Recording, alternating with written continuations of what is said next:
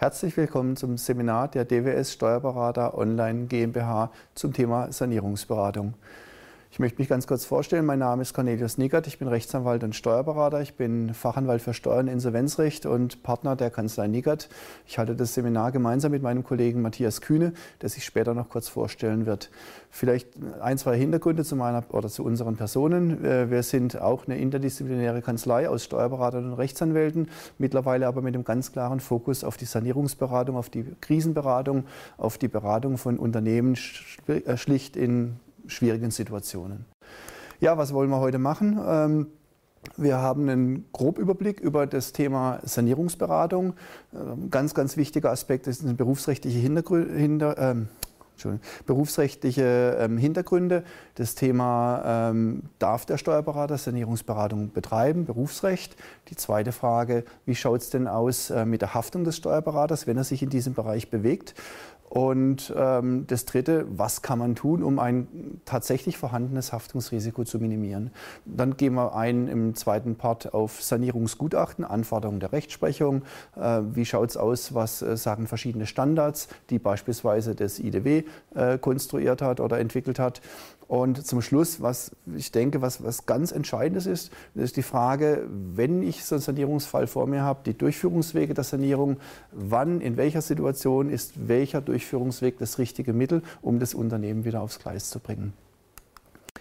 Ja, vielleicht äh, eine kleine Vorbemerkung jedes Unternehmertum ist von Risiko geprägt und Unternehmens, äh, Unternehmerrisiko manifestiert sich gelegentlich in Form von in, äh, Unternehmenskrisen. Das kann sich weiterentwickeln bis in die Insolvenz hinein.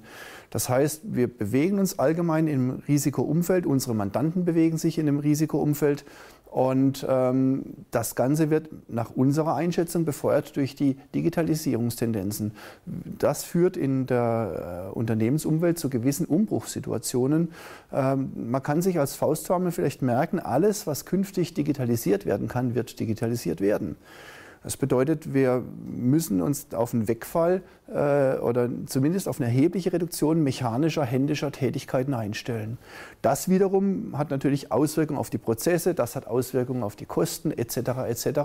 Und äh, ich denke, man muss kein Prophet sein, um zu sagen, dass es einerseits neue Arbeitsplätze schafft, da wird immer wieder genannt diese MINT-Berufe, äh, wird aber auch dazu führen, dass verschiedene bestehende Arbeitsplätze vernichtet werden. Diese Umwälzungen in der Wirtschaft haben natürlich auch gravierende Umwälzungen bei den Steuerberatern zur Folge. Wir sprechen da nicht nur über die Kunden der Steuerberater, das mag vielleicht sogar bis hin in den steuerberatenden Berufsstand an sich hineinreichen.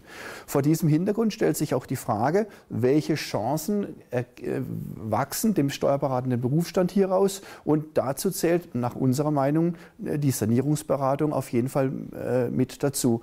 Ähm, an der Stelle möchte ich auch auf das Merkblatt des DWS Verlags, Merkblatt 2 2016 ganz kurz verweisen zum Thema mehr Umsatz durch betriebswirtschaftliche Beratung. Beratung. Äh, die Sanierungsberatung kann man einfach als einen Teilbereich dieser betriebswirtschaftlichen Beratung interpretieren. Und ich sehe eine ganz, ganz große Chance für die Steuerberater, die wir nicht ohne, äh, ohne Not oder kampflos äh, den Unternehmensberatern preisgeben sollten. Ja, dann fangen wir gleich mal an äh, mit den rechtlichen Rahmenbedingungen der Steuerberatung. Die erste Frage, die sich stellt, was sagt denn eigentlich unser Berufsrecht dazu? Was, was regelt unser Berufsrecht zu den Rahmenbedingungen der äh, Sanierungsberatung? Sie wissen, unser Berufsrecht ist geprägt